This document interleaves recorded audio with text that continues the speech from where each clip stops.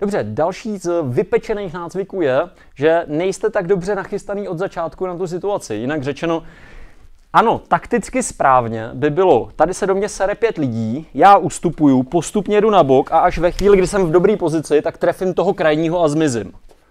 To by bylo chytrý, to byste dělat měli. V ideálním světě, kde na to máte dost času a, a prostoru, je to velmi chytrá strategie. Realita je spíš o tom, že tady jste si vlítli do vlasu s nějakým blbečkem, i když ustupujete, tak vás všichni obešli a v kritický moment dokonce nezautočí on, ale drapne mě někdo jiný. To je blíž k té realitě, tak jak ji chápu já. A jak se to dá natrénovat?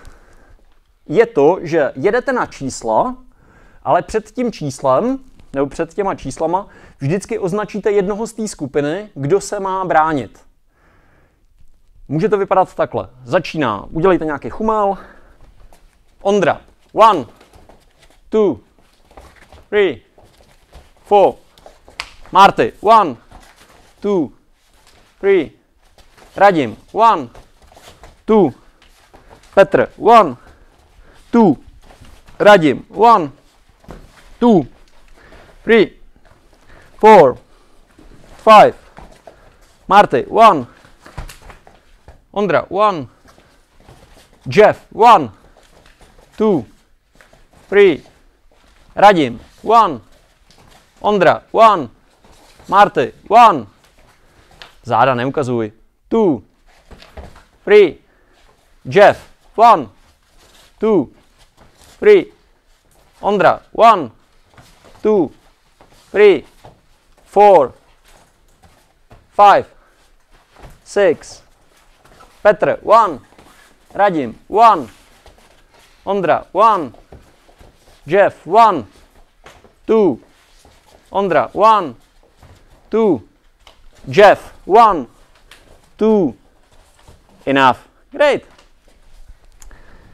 To znamená, tímhle způsobem a můžete do podezřelých vnést zmatek, jak by řekl Zimmerman, ale z našeho pohledu je to o tom, že tím, že já vybírám ty, kdo, je, kdo jsou uprostřed, tak zároveň nejvíc ztrácíte přehled o tom, kde jsou všichni kolem vás a jak se z toho chumlu co nejlíp dostat ven, abyste u toho dostali co nejméně rán, aby vás u toho nechytili, aby vás u toho nezachytili, aby to tímhle tím pro vás nezhaslo.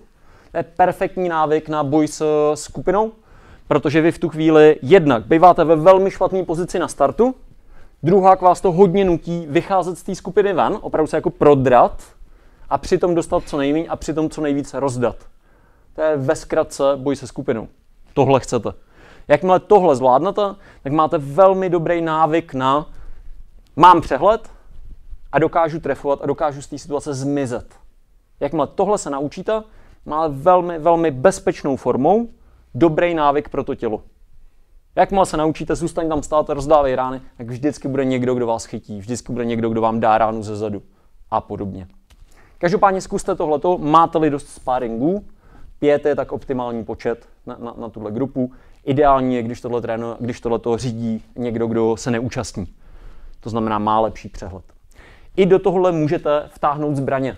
Takže i tady můžete, může být o tom, že zbraněma útočíme nebo se zbraněma bráníme. To, že jsou všichni ozbrojení, ale přitom jedeme to samý, vypadá, vypadá ofou zajímavějc a zábavnějc. Vyzkoušíme.